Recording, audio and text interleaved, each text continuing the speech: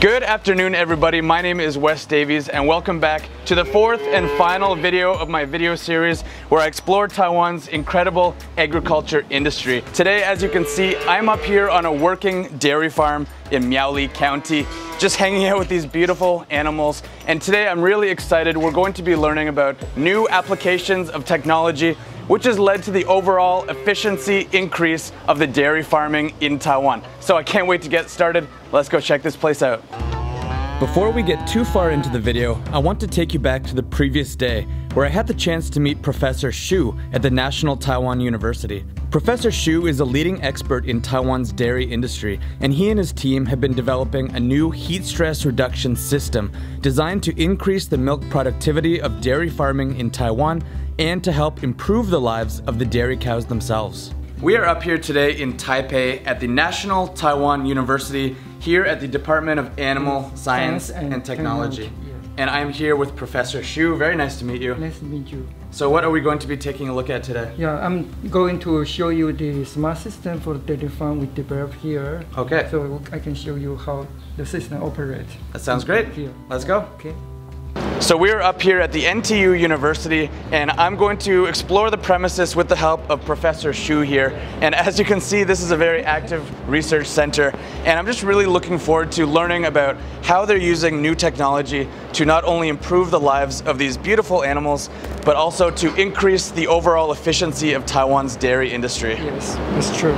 Professor Xu and his research student walked me through the heat stress reduction system they use to monitor the cows. The sensors and computer equipment that they have developed track the cowshed environment using data indicators such as temperature and humidity index and can automatically detect when to turn on the fans and mist system, ensuring that the animals are as comfortable as possible. And we also use the, the humidity index to control the fan, also the sprinkle and the mist. Those three can operate according to the the degree of the heat stress.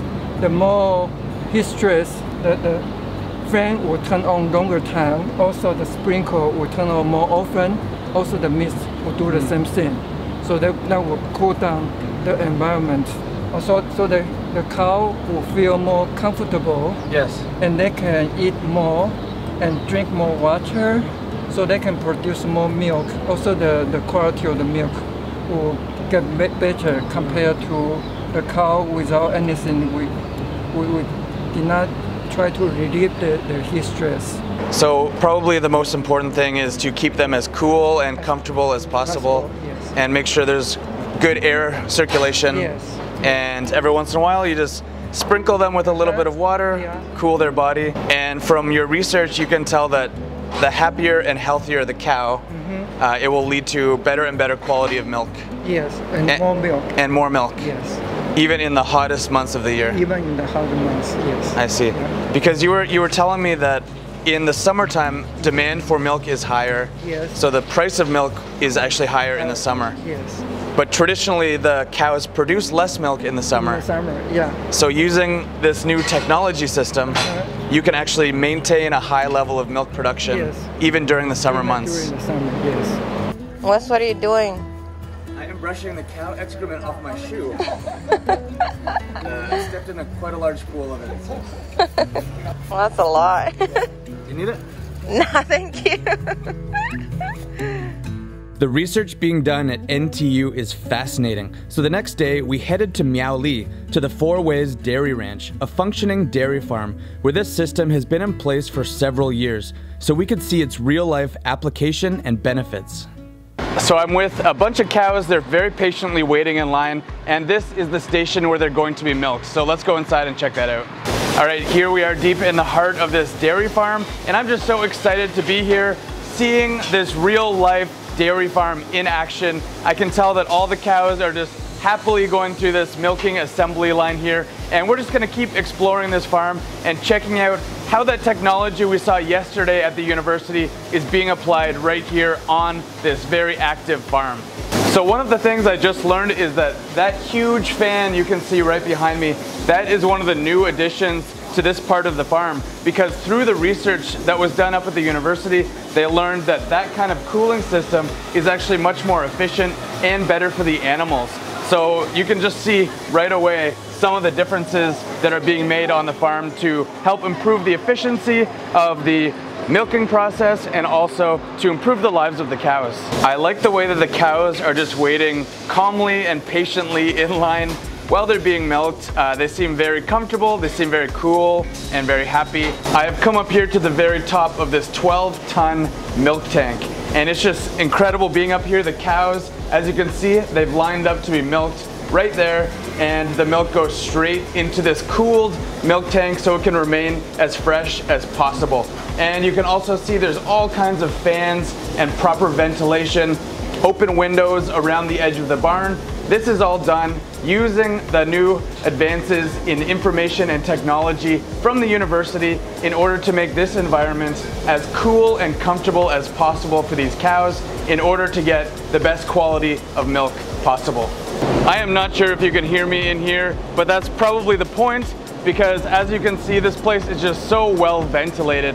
Huge fans up and down these cow sheds. It is shady in here, it is cool, and it is breezy. So if I was a cow, even on a very hot day, I would feel very, very comfortable in these cow sheds. So hello, thank you again for inviting me here to the farm.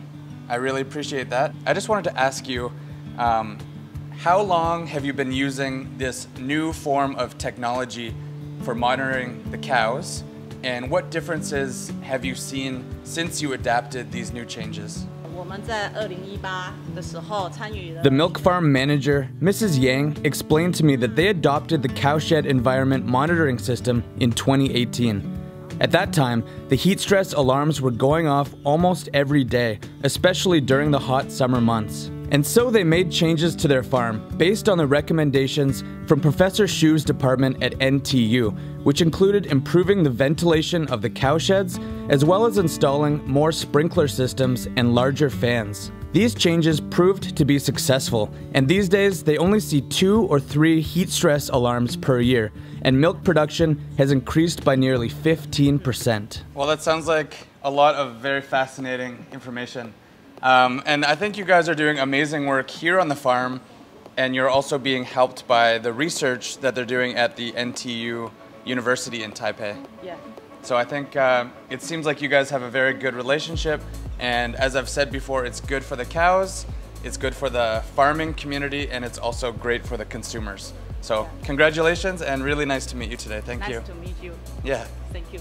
Okay, all finished up here at the Four Ways Ranch. Honestly, I had such an amazing couple of days learning all about Taiwan's milk industry. And especially I enjoyed watching the farmers I would even hesitate to call them farmers after seeing what they do, how they incorporate science and technology and modern research into their everyday agricultural practices. I would call them something more like agricultural engineers. And they were all so friendly to me, so nice, so knowledgeable. I loved learning about what they're doing here in Taiwan to help improve the dairy industry not only for the consumers but also reduce labor costs and increase efficiency across the farms in Taiwan. So thank you for watching this video series. I will link the other three videos right down below. Share these videos with your friends, like the videos, subscribe to my channel if you haven't already, and I will see you very, very soon. Take care, everyone.